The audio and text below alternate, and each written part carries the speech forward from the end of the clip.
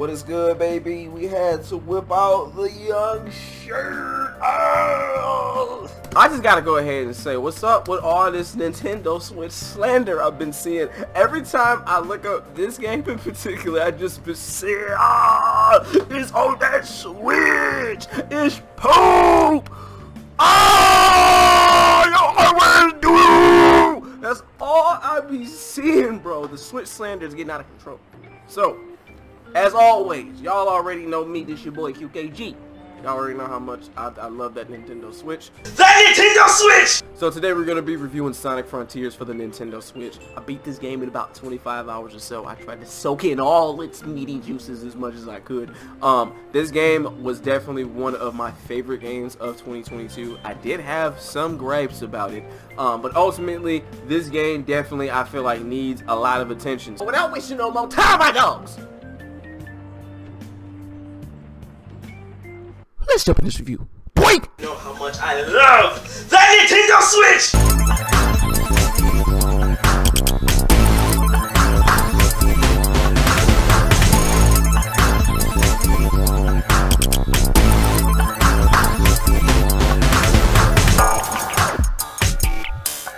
Sonic game has what's called open zone. This is what you would call an open world if it was mixed with the Sonic realm because you're gonna have those zones back in like Sonic Adventure where Sonic's running through like a whole ass different world or city or some shit and literally throughout that area you're gonna have rails, you're gonna have bouncy buttons, you're gonna have all different types of ring button shits that you're gonna end up having to hit throughout your journey. So when you first boot up Sonic Frontiers on your Nintendo Switch, you're gonna get blessed with some of the best music Sega had to bless them eardrums with.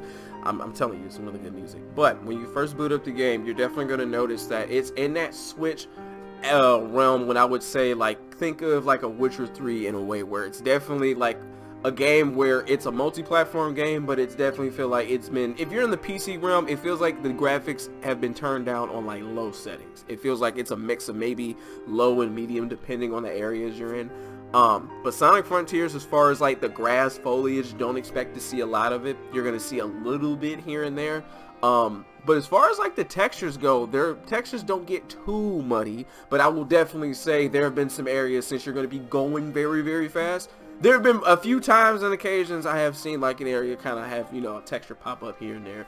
But it wasn't anything to where I got stuck in the rock or I had like some goofy ass glitch or something and it hindered my gameplay experience. And it actually uh, rendered in much faster than I expected.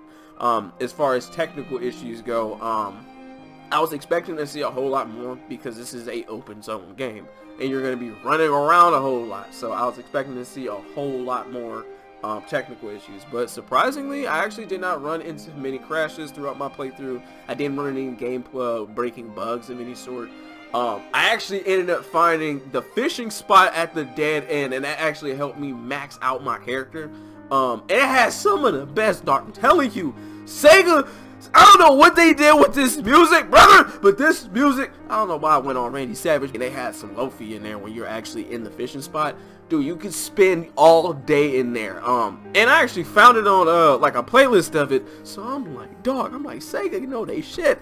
Um, the boss fights in the game, they utilize some of the best music, like I said. Um, and those boss fights get I'm, I'm, gonna get to that in a minute. Let me get back on track. Think of Sonic and Breath. Of, uh, think of Sonic and Breath of the Wild formula. That's exactly what this game is. Um, and I've been noticing that with like games like Immortals, Fenyx Rising, kind of took that same formula where we're gonna have an open world, and there's gonna be little puzzles or little different areas throughout the map that open up the map for you to view because well, of course it's just like Breath of the Wild where you're dropped in on a zone and you're in this weird world but of course you don't know where the hell you're at. So as you're progressing throughout that open zone there's going to be a bunch of different puzzles for you to do. And I will be honest with you the puzzle not that difficult but you will jump into one or two and you're like what the hell do you want me to do? Biggest addition to this game that no other Sonic game really had the fact that Sonic has combat.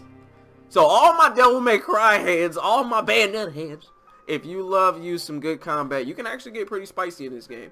Um, the skill tree is, I would say, is an okay size. I wish it would be a little bit bigger, but I'm not upset with the amount. If that shit makes sense, would do. But the whole fact is, they have a decent amount that is in their upgrading uh, skill tree for you to actually utilize throughout your combat uh, enjoyment. Um, other than that, as much as like I said, I was somebody who played a lot of Devil May Cry and a lot of hack and slash games, I was getting very spicy with them shits, boy. Um, I do love that little dodge, like kind of boost move where Sonic goes all over the place, and then it's similar to um, it's kind of like he gets a Fury Rush in a way where if you have a consistent combo that's building up this meter, it goes into like this Hyper Rush mode and Sonic get the fucking you up! It is crazy, bro. Seeing Sonic in this way is much better in my opinion because I was like, yeah, he jumps into a ball, blah, blah, blah. He just hits people with a ball. But actually giving him combat, nuts. Absolutely nuts. Bonkers, brother. Amazing. Y'all, dog is heat. Is heat. So each zone is going to have the Chaos Emeralds on them. And then the only way for you to unlock Chaos Emeralds is that you have to actually use these keys to unlock them. The only way to actually get those keys is that you actually go to go to these portals that look like these old kind of stone shrines and you have to put in this gear shift key thing that you only get from actually exploring or defeating enemies and so those shrines will actually suck you into what's called a cyberspace. And that cyberspace shit is actually like the classic Sonic gameplay where you complete the level in the fastest time. You got to get all these red tokens, get a certain amount of red, uh, get a certain amount of rings, and then also complete the level in the fastest time. Um, I will say getting the S's on a good majority of them are actually pretty, I'm not going to say easy, but I did get an S like um, damn near everything. The difficulty of those cyberspace runs, they vary, but I will definitely say I was actually getting S's pretty decently, well, mainly because I'm a vet out here, boy, but I will definitely say it didn't seem as crazy difficult, but there were a few that I had to retry a bunch just because I was getting my ass worked.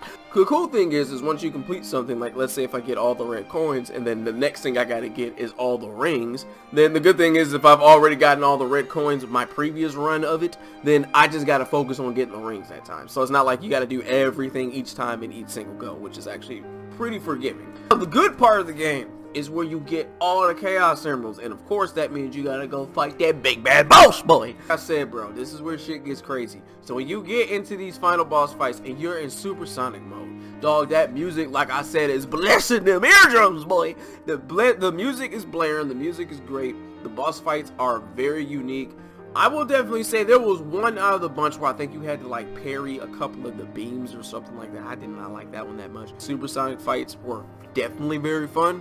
You had some heat ass music in the background and then Supersonic even when he um you know of course like his moves are gonna have their own little special secret sauce to them.